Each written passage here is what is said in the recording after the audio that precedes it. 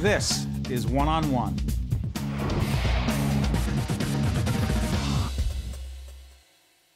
John Russell is a social studies teacher at Burlington City High School, part of our classroom close up series in cooperation with the NJEA. Good to see you. Thanks. Nice to see you. Uh, we're about to see a piece of video, again, part of our partnership with the New Jersey Teachers Educational Association. Um, classroom close up seen every week on uh, NJTV, a terrific series. Set up the series we're about to see, teaching about Holocaust history with Legos. That's right.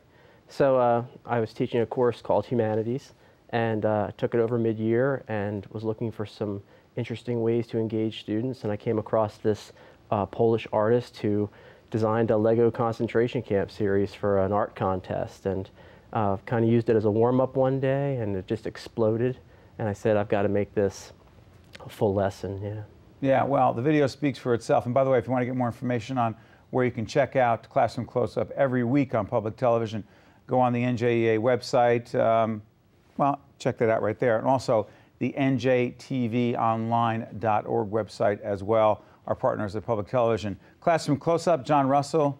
Very innovative stuff. Let's go to the clip.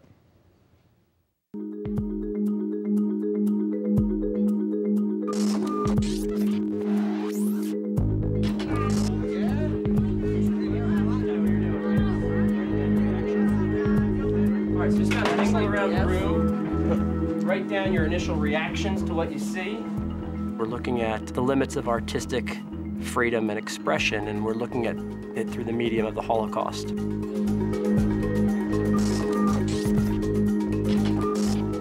When they walk into the room, I start off with like this gallery walk where I just have the images up. I don't say anything about them. And they just go around the room and kind of write down their initial reactions. And they're usually all very negative or very shocked or they think they're real. How many people have played with Legos in here? It was an artist representation of the Holocaust through Legos. And we kind of discussed about how is it moral for this guy to do this with Legos. So basically in the mid 90s, Lego was running this like international contest uh, to use Legos to build some kind of work of art. And this artist, Zbigniew Libera, he basically told Lego he was going to build a hospital. They provided the bricks to him and then he built this concentration camp series it kind of like struck home for me because you know you're not used to seeing something like evil represented with something that you've always found was good and like wholesome. When you get legos you're just like trying to have some fun not think back on a terrible event that happened. When you paint a picture you're telling a story. This is just another way of telling a story. Okay good point. So art is definitely part of it telling the story and what the artist is trying to say. It's like the opposite of what legos are supposed to be. I thought it was real I thought that these came out on the shelves and kids really played with these, so it kind of shocked me a little bit. That's kind of the point of this, you know, is to shock them into really thinking about the core values and the core history here. It's really a way to encourage young people to think about real world topics, to engage students, to strengthen their critical thinking skills, and to bring history to life. For creating lessons like this one, John Russell was recognized as New Jersey's 2012 Humanities Teacher of the Year. What we are looking for is to see a teacher who is in the humanities, um, so you know, social studies or a history teacher or a, um, English literature teacher, who's really thinking about how to connect their students to the material in a way that gets them thinking deeply about why is it important to study the past. So it was a nice way of kind of threading through methods of kind of humanistic inquiry, you know, how do you ask questions about the past, but then also connecting it to the present um, through this just really creative way. So we were very impressed by that. I think he was named Humanity Teacher of the Year because not only does he have a really good knowledge on the subject, but he also teaches it in a new way. It's not all classic book work, it's really interesting and he creates these awesome lessons and stuff that you don't really see in a normal teacher. Chose this. By the way, we should make it clear that you were the Humanities Teacher of the Year bestowed by the New Jersey Council on the Humanities. I'm going to ask you something. What were you trying to accomplish when you shocked these kids through this exercise? And you did. I wanted to show kids and have them think about the fact that everything isn't black and white in life. And, you know, we're looking at the Holocaust and there's lots of different, different interpretations. Most people think the Holocaust negative, of course, obviously. Um, but then this artist did something to shock people and rethink what the Holocaust was all about. He was Polish. Poland was, you know, hit so hard by the Holocaust. And he did this to shock and to get people to think, what does the Holocaust mean today? Why do we still study it? Why does it matter so much? And, you know, for my kids who are 17 years old, you know, maybe they don't see the relevance still in something like that. And I think they do when they see it through. Where does the discussion go after that? Well, it's basically about artistic license and freedom. What's appropriate, what's not. Are there barriers set up, you know, and how far can we, can we, you know, get close to those barriers and when do we cross a line? Did this artist cross a line? Did he not?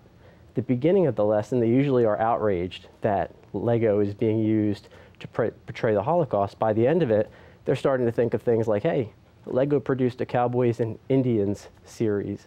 Well, that's a genocide as well. So, you know, is Lego involved in this? I mean, how, how much is Lego, you know, taking things too far?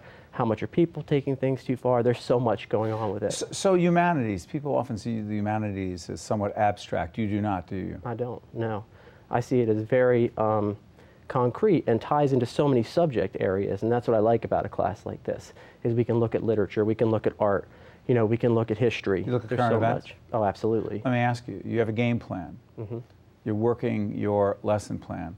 An event happens in the news that clearly captures the interest of young people. We're doing this program in the summer of 2013. Mm-hmm. When um, an event, Trayvon Martin case, plays itself out, do you bring it into the classroom? Immediately. Immediately. Have to tie it into the classroom. It's current, it's relevant, it's hot. You have to? I have to do that. I have to get my kids excited and interested about learning, and these are things they're learning about every day, and I can tie it right in. That's humanities? It is where again I'll ask, where is it that you would like that discussion to go, or is that not part of your thinking where it goes? Well, I'd like it to go, you know, obviously with civil rights, civil liberties, things like that, even tying it back to different, um, you know, topics in American history.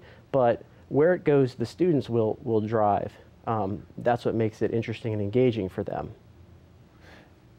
When did you know?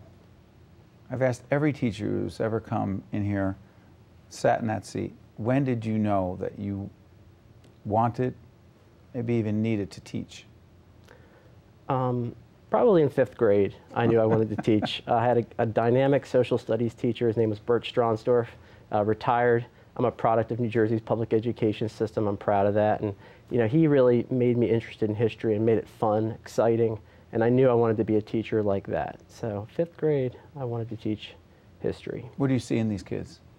in Burlington City. What do you see in these kids in your classroom? I see so much potential. I see kids that have worked hard and have really, um, you know, done a great job. And I see kids who are our future. And nothing excites me more than when some of these kids go on to be teachers, especially history teachers, and I had an impact on that. John Russell, you're the reason why we do this uh, series, Classroom Close-Up, in cooperation with our partners at the NJEA. Uh, keep doing what you're doing. Um, you're in a wonderful profession. And uh, we're proud that people like you decide to do it. Well, Keep mentoring you. others. Thank you. Thank you. Stay with us. We're right back right after this. One on One with Steve Adubato has been a production of the Caucus Educational Corporation, celebrating 25 years of broadcast excellence. Funding for this edition of One on One with Steve Adubato has been provided by the New Jersey Education Association, activists in cooperation with the American Medicine Chest Challenge. Choose New Jersey. NJIT, Health Republic Insurance of New Jersey, Berkeley College, and by the Healthcare Foundation of New Jersey. Transportation provided by Airbrook Limousine, serving the metropolitan New York, New Jersey area. One on One with Steve Adubato has been produced in partnership with St. Joseph's Healthcare System.